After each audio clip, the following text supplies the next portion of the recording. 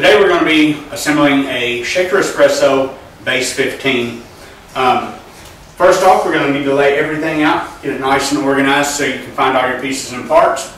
The next step is we need to assemble and install our male clips onto our cabinetry. Again, there's preset holes for these to align here. We're going to go ahead and screw those in with two screws.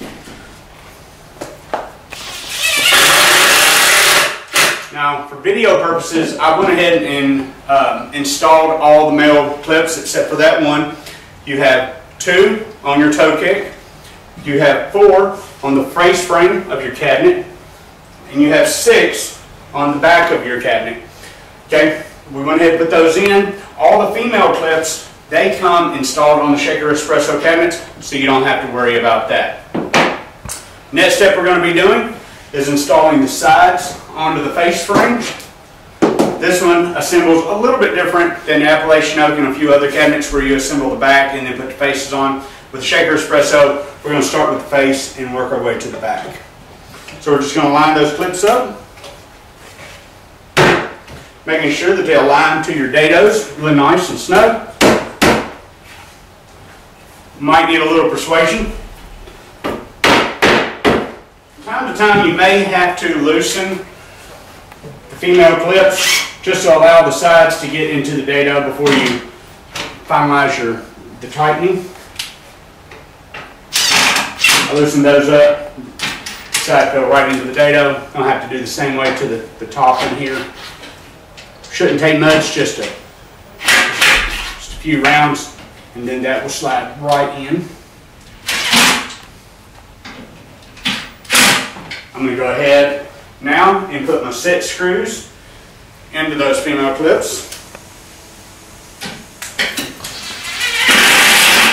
Locking those together. Be sure and be mindful not to tighten your screws too much so you don't strip out those screws as you're going. And now I'm just going to assemble the other side. Now that we have our sides assembled onto our face frame, we're going to go ahead and install the bottom of the cabinet. Now the bottom of the shaker espresso cabinet has a finished side and an unfinished side. We just want to make sure to have that finished side turned towards the inside of the cabinet. We're going to slide it into the corresponding dados.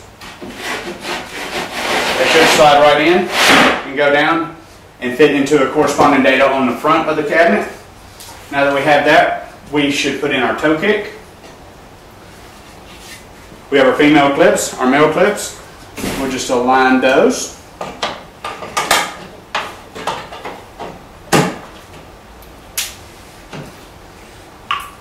Those a little tap. Those are that was locked in nice. We're going to go ahead and set our set screw.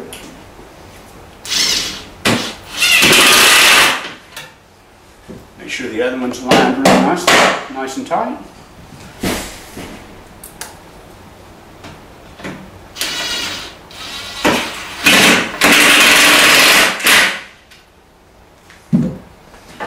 From there, we need to install the back of the cabinet. Now it will also have a, uh, it will also have a dado to receive the bottom of the cabinet and the corresponding male clips into the female clips.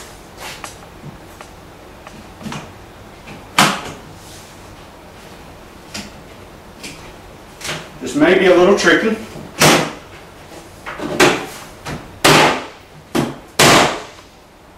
Those fit nice and tight. I'm going to go ahead and put a set screw in those for you.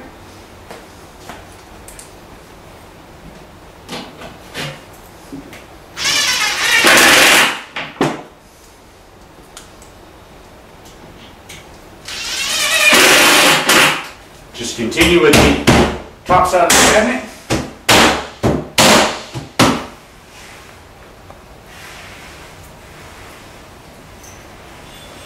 We'll install our set screws in these and then the back assembly will be done. Next we're going to be uh, mounting our corner blocks. I've done installed two. These are to help align the sides and to give you something to attach your countertops to. They have these little ears on the top which actually lip over the front of the cabinet, I mean over the top of the cabinet, and just two screws. to Mount those to the side. They're just here to help hold the cabinet, keep it square, and to give something to adhere your granite and or Formica countertops to.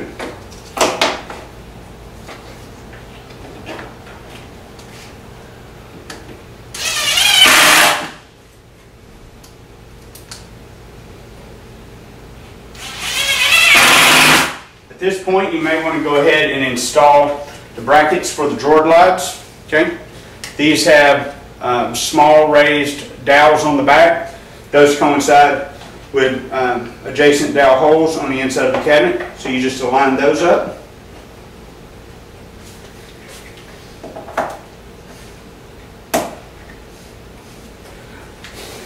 Go ahead and put a couple of set screws in those.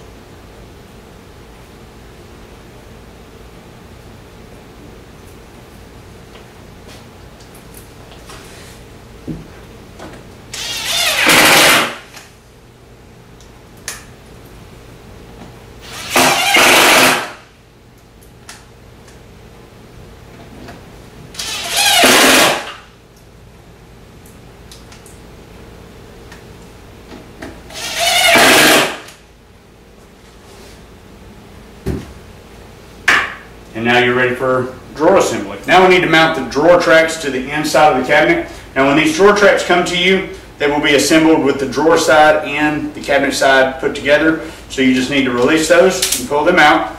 On the inside of the drawer glide, there is going to be a little lever here, a little black lever. You just push that, then that will release. This side will be actually what mounts to your drawer, so set that to the side and we'll use that in a little bit. Again, a little lever, unlatches. You can pull those out. Set it to the side.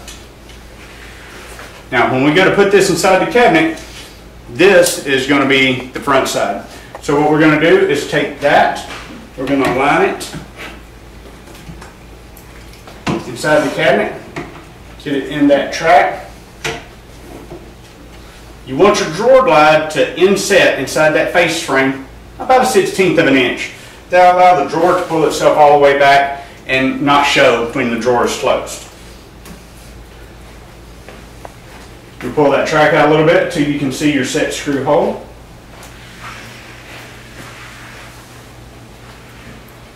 Mount that to the face and continue to the other side.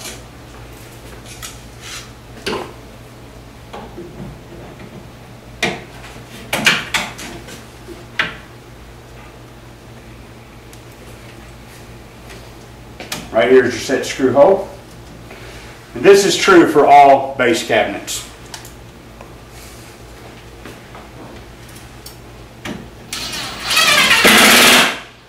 Now that those are installed secure, we'll leave those be and we'll start uh, assembling our drawer to go in. Next, we're going to go ahead and uh, assemble the, the drawer. Now, the sides and the face have the dado um, that will receive the bottom, and then the back will go on last. Right now, we're going to go ahead and align these dovetails. If your dovetails have any um, fur, um, any extra material, go ahead and take a piece of sandpaper and clean that off. That's just for machining. That way they'll fit together a little tighter. And tap those dovetails together.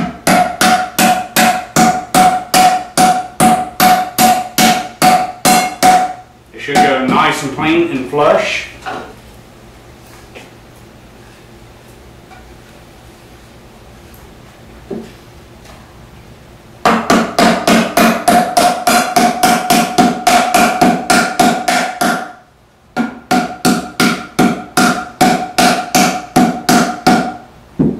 So, we have the dovetails set in for the sides. Don't worry about the alignment right now.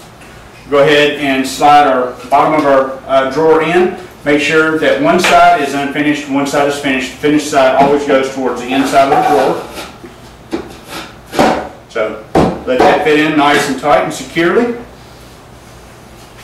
Take the back of the cabinet, making sure the dado lines up perfectly. Get that set in one side of the dovetails like so. Then tap those together.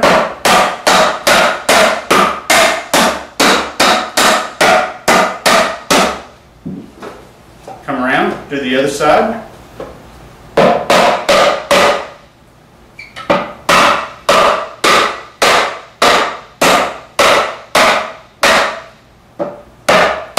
Again, the cleaner you can get your dovetails, the, the easier they'll go together. At this point, I'm going to be going to our shop, putting in a couple of brads. That just keeps your dovetails nice and tight and secure. So now we finally have our drawer box assembled.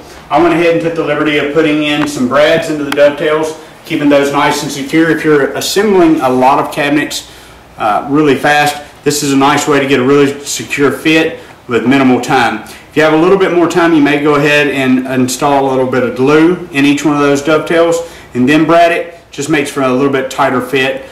Uh, if you have time to go ahead and clamp it, you may be able to do without the brads at all. Now from here, we're going to go ahead and install our drawer tracks onto our drawer. The bottom of the cabinet is where that the drawer track needs to align.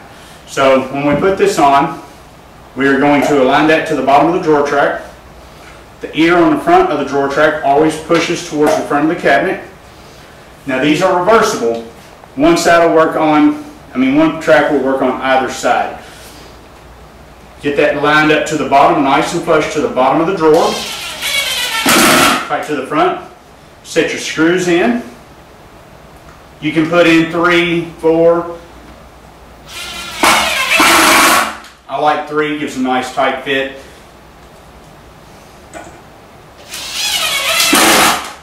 So that's that side, we'll move to the other side. Again, these drawer tracks are reversible. Keep in mind, I'm keeping that drawer track aligned really nice and tight to the bottom of the cabinet. Set my screws.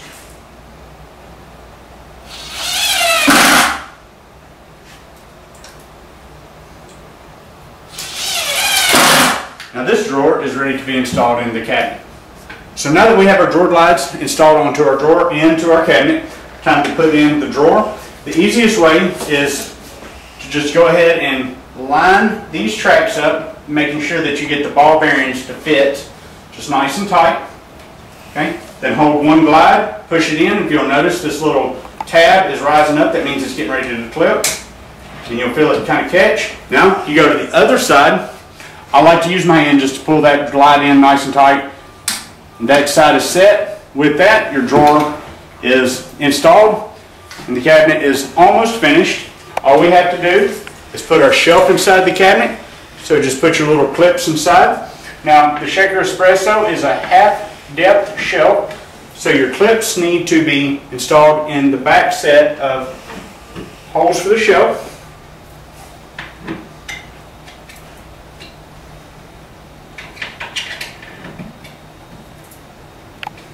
Got those. Again, make sure that the edge banding is pointing out and not the raw side of the plywood. Make sure that's nice and fit. And that concludes the assembly of a Base 15 Shaker Espresso.